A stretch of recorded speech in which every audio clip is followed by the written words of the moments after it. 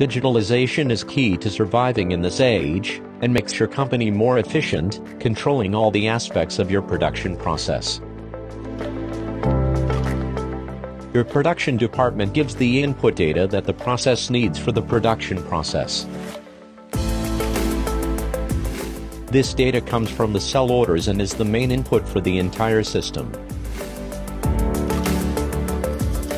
The data created in a central location can be stored on the cloud and downloaded to your company's servers everywhere using secure transmission mechanisms.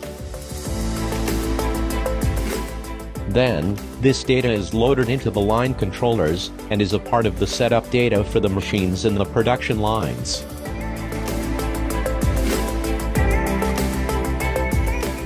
The acquisition system bring all the measured variables to operator screens for monitoring the process.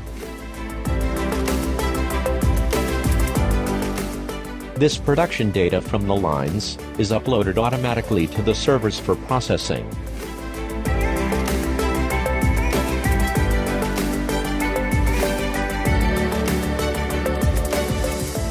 Then, this processed information generates KPIs for top management plots and reports. OEE indicator is calculated for identifying losses, benchmarking progress, and improving the productivity of manufacturing equipment. The information is fully available in several platforms to monitor the process everywhere.